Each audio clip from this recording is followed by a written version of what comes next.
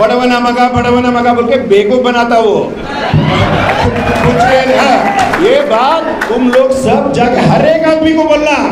हर एक आदमी वो किस्सा नन्नंतर उसको नाटक कंपनी में रहना था वो गलती से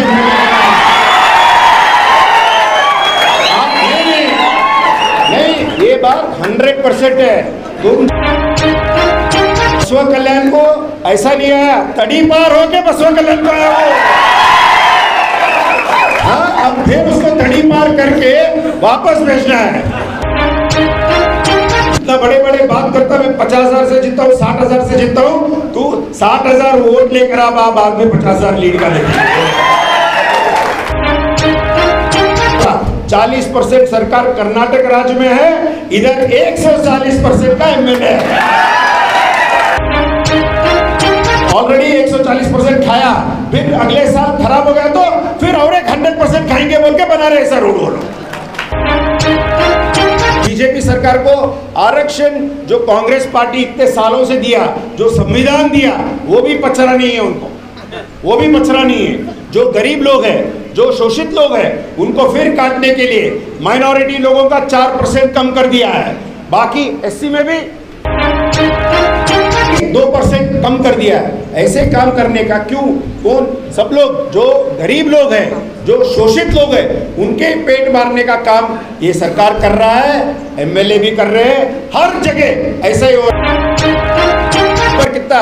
छह इंच का, तीन इंच का डाबर डालना है, एक इंच के डाबर का रोड बना रहे हैं, है ना? उसमें क्योंकि अब एक ऑलरेडी 140 परसेंट खाया, फिर अगले साल खराब हो गया तो फिर और खाएँगे बोल के बना रहे ऐसा रोड डेढ़ साल तो अब उसका कितना हो गया? अठारह महीने कर रहा है ना?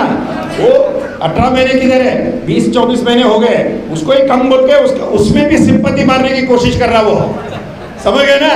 आ, उसको अब, अब बीस महीने हो गए वो मई में आया पिछले मई में। अब अप्रैल अब फिर मई में इलेक्शन है। दो चौबीस महीने हो गया। बोल के नान बड़वा न मगा बड़वा न मगा।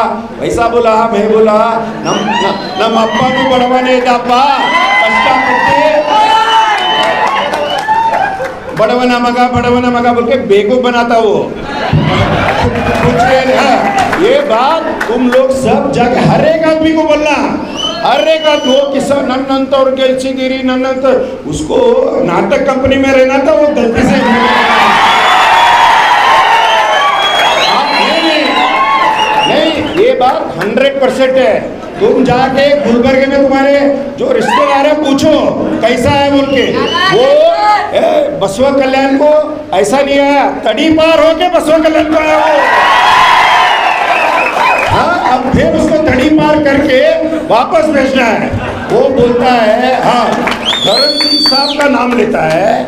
हाँ वो कितने बार एमएलए बने, कितने बार एमपी बने, कितने बार मिनिस्टर बने तू कितने बार बना? भाव के पूछना एक बार उसको। एक बैकवर्ड लीडर का अपमान करता है बैठकर हाँ? एक बैकवर्ड लीडर एक क्षत्रिय लीडर को इतने बड़े बात करता है क्या? इतना बड़ा आदमी बना ये। हाँ? इतना बड़ा। ये सब आपके हाथ में है। ये सब बातें आप वोटर्स तक पहुंचाना है। यहाँ पर जो हम चर्चा कर रहे हैं, जो बात कर रहे हैं, ये हर एक आदमी के दिमाग में जाना है। ठीक है? अगले बार वो बोलने के पहले दस बार सोचना। ऑलरेडी सोचना शुरू हुआ कल ऐसे गलती से बोलना होगा क्योंकि, देखिए, हम कौन भी रहने दो, छोटा आदमी रहने दो, बड़ा आदमी रहने दो, हम सब लोगों की इज़्ज़त करते हैं। लेकिन अगर वो हमारे ऊपर आने लगा, हम छोड़ने वाले नहीं। कौन सा ये इलेक्शन रहने दो, क्या भी रहने दो। हम भी हमारे बाप के बेटे हैं, डरते नहीं किधर। समझ आप क्या भी करना है। एक हद पार करे बिना इलेक्शन है, अभी एक महीना है, सब इज़्ज़त दे के हद पार करे बिना हम लोग कैंपेन करेंगे। क्या बोलते हैं आप लोग? सब लोग हद पार करे बिना अच्छे संस्कृति से काम करेंगे। कौन अगर, कौन अच्छा काम कर रहा है, कौन कर रहा है और लोग किसको आशीर्वाद देता है, वो एमएलए बनता है। क्यों बैठ के हम बात करना आप? है कि नहीं? तो हम लोग, आप लोगों का साथ है। हमारे पूरे लोग लीडर लोगों का यह मार्गदर्शन है। ज़्यादा नहीं कहता, मैं आप लोग अपने अपने बूथ में, अपने अपने गाँव में, अपने अपने दोस्तों को, अपने अपने रिश्तेदारों को हाथ जोड़ के विनंती करो, अच्छे कैंडिडेट मिले हैं। हमारे को, कांग्रेस पार्टी को, कांग्रेस पार्टी इस बार जीत रहा है। कांग्रेस पार्टी अच्छे प्रोग्राम बनाए, अच्छे कार्यक्रम दिए हैं। ये हर एक घर में जाकर मेहनत करना पड़ता है आप लोगों को। हर एक घर में जाना हर एक गाँव घुसकर उनको बोलना है। इसको नहीं समझता है उसको दो बार बोलना है। दो बार नहीं समझता, चार बार बोलो। जब तक उसके सर में नहीं जाता और बोलते रहिए। हमारे को दस तारीख तक टाइम है। हम आप लोगों के साथ रहते हैं। किसी भी हालत के लिए, किसी भी इसमें के लिए, किसी से डरना नहीं। जो भी व्यवस्था करना है, वो दूसरे वाले क्या करते हैं? उससे ज़्यादा हम करके आप लोगों के साथ रहते। अभी नहीं अभी आने वाले जब तक हम हैं आप लोगों के आभारी रहेंगे। बीदर ज़िले के कर्नाटक राज्य के हम आभारी रहेंगे। ऐसे ही आप लोगों के साथ मिलकर काम करेंगे बोलते हुए। और अब इतने संख्या में आए और हमारे ब्लॉक प्रेसिडेंट दोनों ब्लॉक प्रेसिडेंट को और एक बार धन्यवाद कहते हुए और हमारे पूरे जो लीडर्स आए सभी लोगों को मैं धन्यवाद कहते हुए हाँ। और इसमें और क्या हो रहा बोले तो ये अब जो आरक्षण दिए है है ना? अब इनको आर, बीजेपी सरकार को आरक्षण जो कांग्रेस पार्टी इतने सालों से दिया, जो संविधान दिया, वो भी पचरा नहीं है उनको।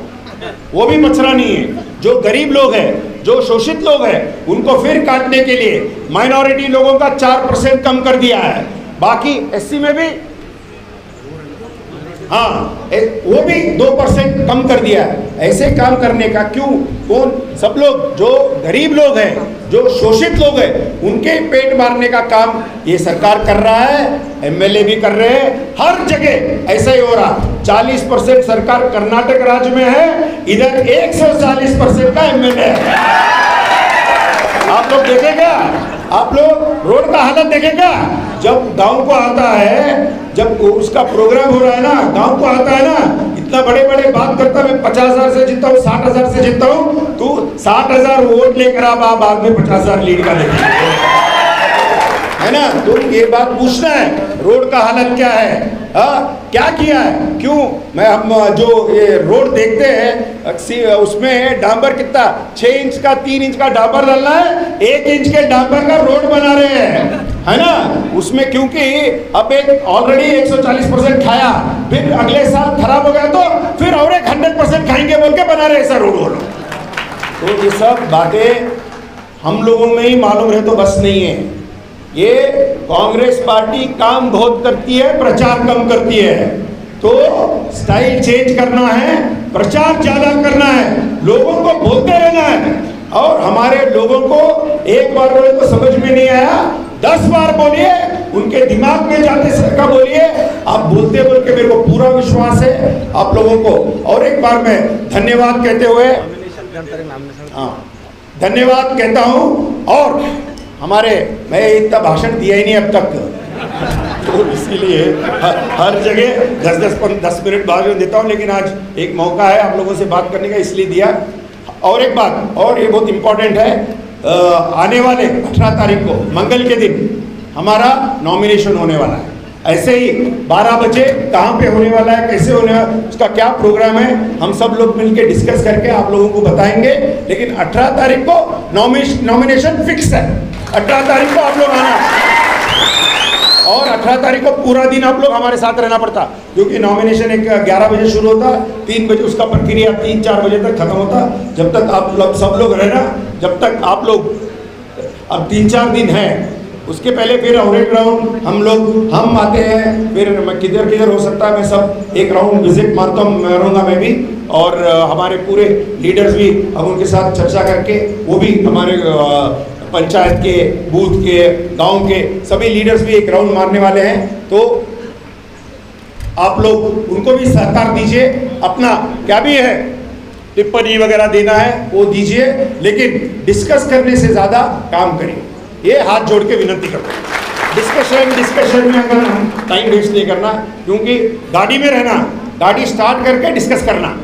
हाँ डिस्कस डिस्कशन होते ही दूसरे गाँव को पहुँचना पड़ता। आप समझ रहे हैं? क्या जी समझ रहे हैं? तो काम करिए। जो भी है, एक महीना मेहनत करेंगे। एक महीने हमारे नाम, सात महीने हमारे तुम्हारे नाम। ये बात आप याद रखिए। और फिर आप लोगों को धन्यवाद कहते हुए मैं मेरे दो बात खत्म करता हूँ। जय हिंद